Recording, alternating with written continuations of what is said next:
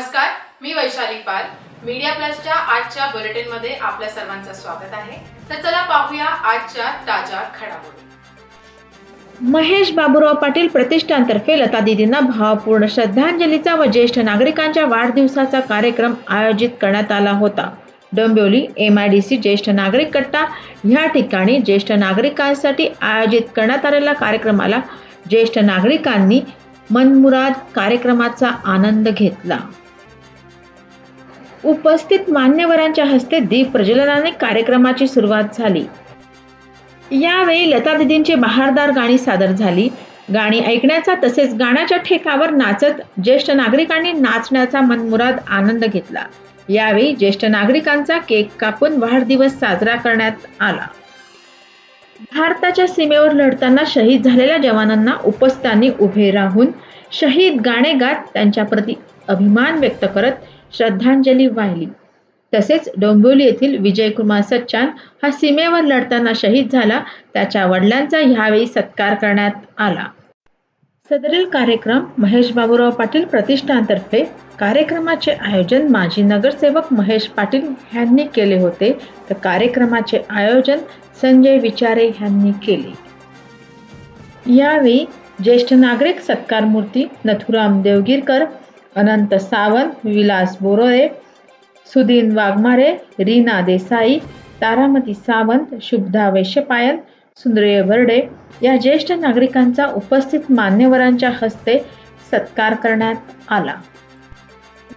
माजी नगरसेविका सायली विचारे कल्याण ग्रामीण विधानसभा युवा सेना जिल्हा समन्वयक योगेश मात्रे माजी नगरसेविका डॉक्टर सुनीता पाटील माजी नगरसेविका पूजा योगेश म्हात्रे आदी मान्यवर उपस्थित होते.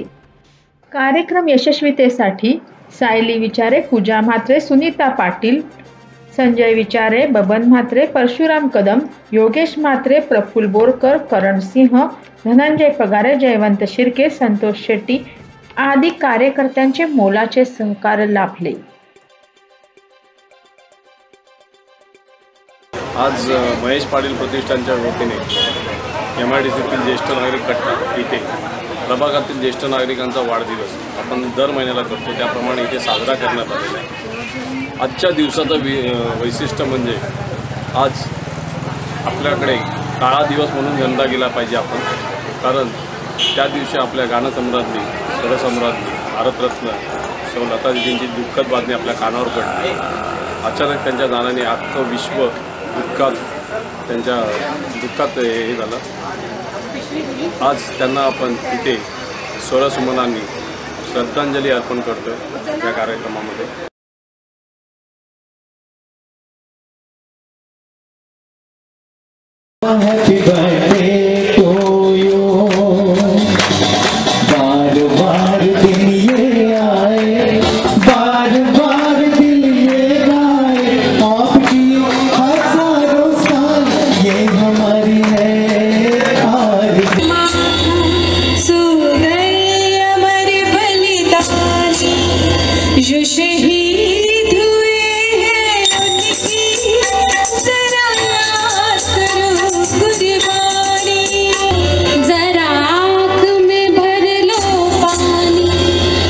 शहीद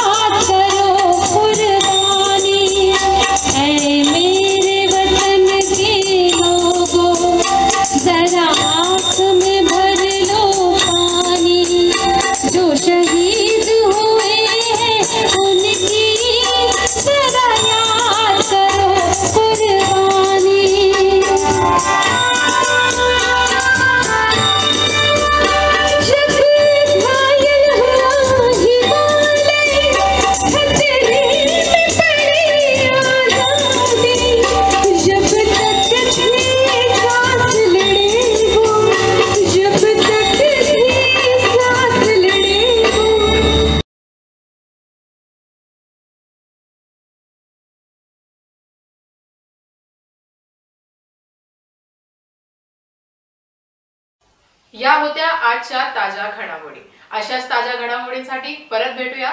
तोपर्यंत जय हिंद जय महाराष्ट्र.